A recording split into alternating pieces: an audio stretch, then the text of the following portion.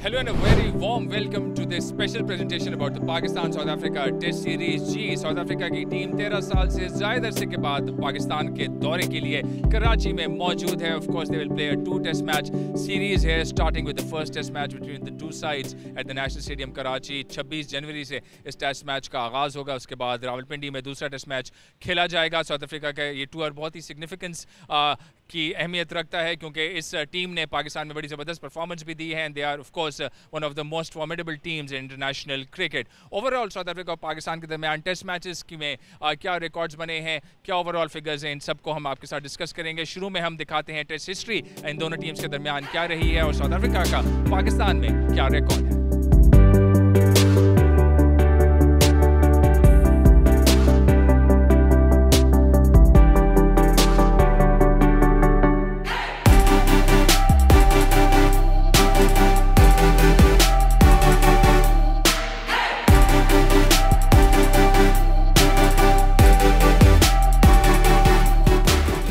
Look at the leading run getters in bilateral test cricket between Pakistan and South Africa.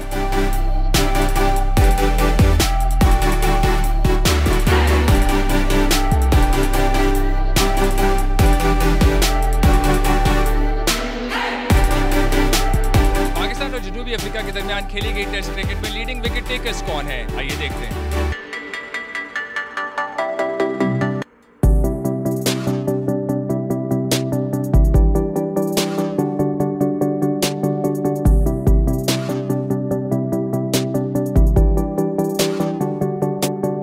तेरह साल से जायद अरसे के बाद पाकिस्तान और साउथ अफ्रीका टेस्ट सीरीज़ खेलेंगे पाकिस्तान में और इस सीरीज़ में बहुत ही एक्साइटिंग क्रिकेट एक्सपेक्टेड है। इस सीरीज़ में दोनों टीम्स काफ़ी वेल बैलेंस्ड हैं और ऐसा लग रहा है कि हम कांटेदार मुकाबले देखेंगे। मेरे साथ मौजूद हैं इस वक्त स्टार्ट्स के गुरु मजहर अशर जिनके साथ हम डिस्कस करेंगे इस सीरीज़ की कुछ ज़बरदस्त aspects and of course the record at South Africa possess in Pakistan. Welcome Mazhar, सबसे पहले बात करते हैं इस सीरीज़ के ओपनिंग टेस्ट मैच की, जो कि पाकिस्तान खेल रहा है which would be a very fact for them at the fortress of Test cricket.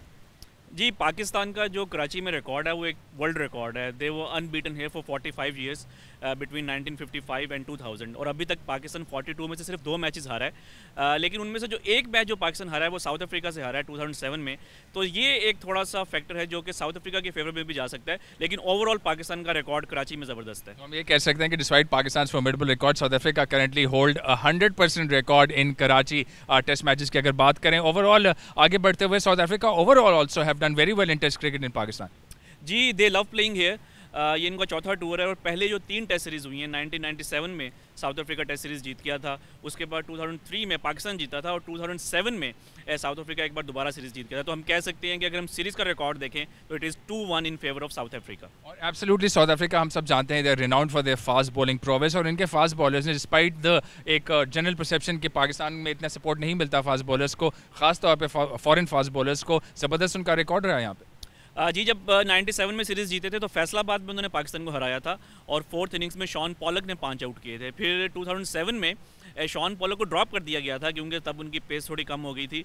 तो डेल स्टेन ने फोर्थ इनिंग्स में कराची में पाँच आउट किए थे। तो दोनों जो उनकी सीरीज़ विक्ट्री हैं, उसमें फास्ट बॉलिंग का एक बहुत बड़ा रोल है। एब्सोल्युटली साउथ अफ्रीका की फास्ट बॉलिंग एक मतलब फिर पाकिस्तान के लिए काफ़ी थ्रेड बन सकती है। डिटेल्ड प्रीव्यू करेंगे हम दोनों स्कॉट्स का इन नेक्स्ट एपिसोड विद मजर रशिद पाकिस्तान के सबक कप्तान Salman Butt is previewing the Pakistan South Africa series और साथ साथ सलमान बट अपनी मेमोरीज के बारे में बता रहे हैं when he last played against South Africa in the 2007 test match in National Stadium Karachi we all welcome them thank thankfully we have cricket back in Pakistan remember it's a cricket loving nation and this is something that binds this whole nation together so it's very heartening to have them here and obviously they are one of the top sides especially in this format. So great learning curve for our youngsters and ob obviously for the public that wants to see their stars. I recall a wonderful game of cricket where Hashim Amla scored 100, Jack Ellis scored 100, Dale Steyn bowled a wonderful spell, Yunus Bai got 100, Danish bowled a good spell. So it was a wonderful game of cricket. Unfortunately, we lost the game, but the cricket memories are still there. Yes, they are young. Take no pressure. Be yourself. Be positive. Work hard. Do the basics right and leave the rest to Allah.